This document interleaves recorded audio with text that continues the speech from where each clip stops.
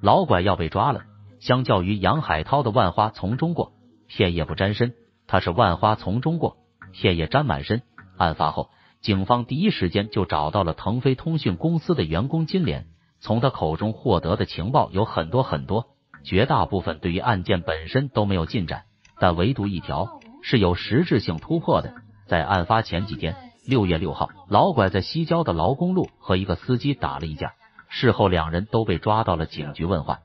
警方根据这一情报，随即前往西大口派出所了解详情。通过金莲指认，确定了他们要找的人正是老拐。之后，警方凭借着蛛丝马迹开始追捕老拐。这中间去过开封、广州、郑州，但是都棋差一步，还是给他们跑了。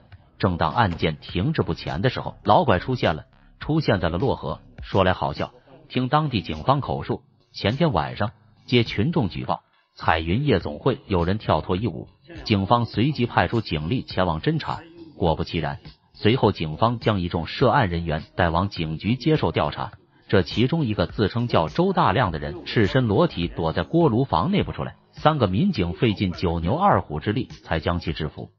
次日，一个自称其朋友的人前来保释他，我们对他进行了一番思想教育，便将他放了。直到今天上午，我们收到了你们发来的协查通报。这才幡然醒悟，原来他就是你们苦寻的杀人逃犯。好消息，在所有的坏消息面前，这绝对算得上是好消息了。警方随即在漯河市展开了地毯式搜查，从白天一直找到了晚上，终于在一个夜市摊找到了他们苦寻的老拐。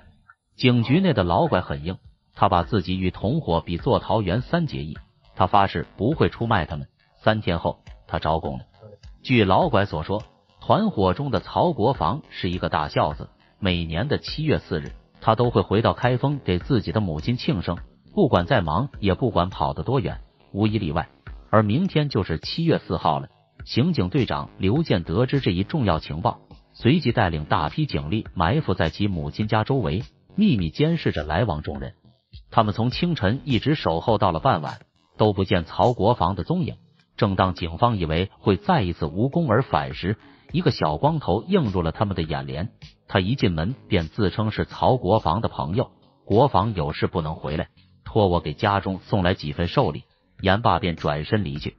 他的一举一动在警方眼里是疑点重重的。随后，警方将这个小光头带回了警局问话。